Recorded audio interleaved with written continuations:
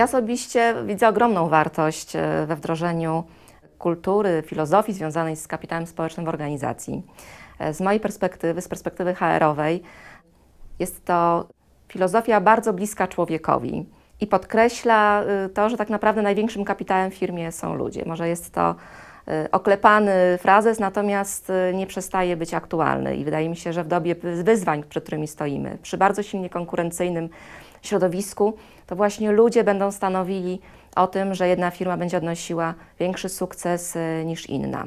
Wierzę mocno w kapitał społeczny i w tą filozofię, ponieważ y, wiem, że możemy uwolnić energię każdego z pracowników, dać możliwość ujawnienia się talentów każdego z nas. Wierzę również mocno, że można przełamać stereotyp i wzór, że 1 plus 1 równa się 2. Uważam, że 1 plus 1 może dać znacznie więcej niż 2. Wartość we wprowadzeniu y, filozofii związanej z kapitałem społecznym, we wprowadzeniu do naszej organizacji widzimy ogromną.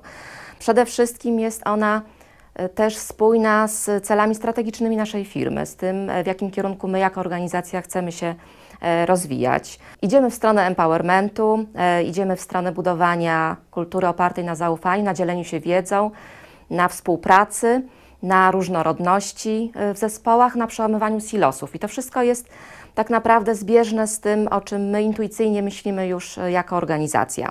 Bariery, które mogą się pojawić przy wprowadzaniu idei kapitału społecznego w firmie, to przede wszystkim, ponieważ jest to praca z ludźmi, to może być opór ludzki, jest to zmiana. Zmiana, jak każda zmiana wprowadzana w organizacji, powoduje na początku pewne zamieszanie. W związku z tym na pewno trzeba potraktować temat jako proces, tak żeby ludzie nabierali zaufania, widzieli korzyści płynące dla siebie w tym.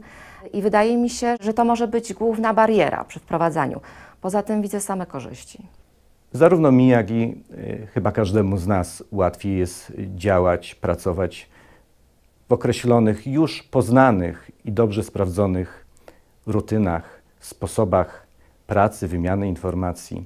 Tak jest prościej, łatwiej, szybciej czasami. Ale pytanie, czy lepiej?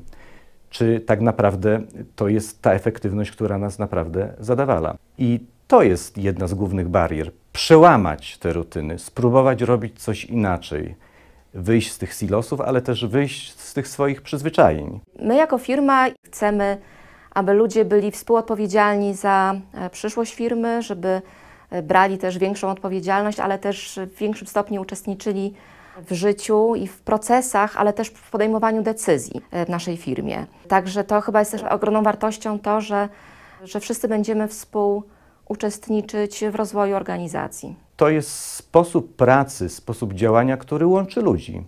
On daje możliwość wyzwalenia energii i ogromnego potencjału, który drzemie w każdym z nas. Myślę, że będąc dojrzałą organizacją, nie wykorzystywaliśmy do tej pory tego potencjału. Pracowaliśmy w schemacie pewnych rozwiązań, które szły z góry na dół. Ale czy one zawsze były efektywne? Czy one faktycznie angażowały wszystkich pracowników? Kapitał społeczny jest o- innowacyjnym podejściem. My jesteśmy firmą innowacyjną i głęboko wierzymy w to, że podchodząc w trochę inny sposób y, do wykonywania swoich obowiązków, y, myśląc szerzej, współpracując, dzieląc się wiedzą, ale też dając sobie przyzwolenie na popełnienie błędu, będziemy w stanie w przyszłości budować przewagę konkurencyjną.